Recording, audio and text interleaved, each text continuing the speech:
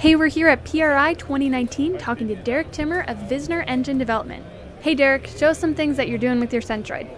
Um, well, we have uh, an A560. We use, um, we specifically use the, the crank bar system that they developed with all of the tooling. The best part about the Centroid is the tooling that comes with it, I think.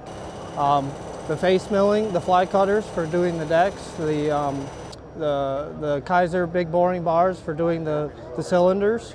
Um, I mean, they leave gorgeous finishes on, the, on all of our products that we make. Um, we make our billet blocks as well as our billet cylinder heads on both of our 560 XLs. Um, they're amazing machines. They, um, they're fast, accurate. I guess along with the tooling is the engine cam software that's on the machine that allows you to deck, bore, uh, machine lifters, uh, do crank uh, clearancing. Um, all of that is built into the machine, so you don't need a separate system to machine a block.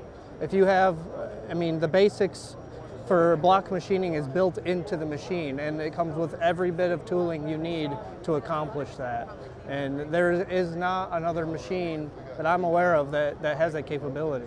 For the training and installation, it was, it was smooth, it was, we got along great and you know, the, the minor machine repairs that we've had from from errors on our side and they were right there as soon as they could be and with anything that we needed.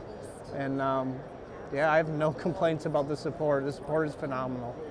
I've had one, my first Centroid for two years now, and then we acquired the second one last year.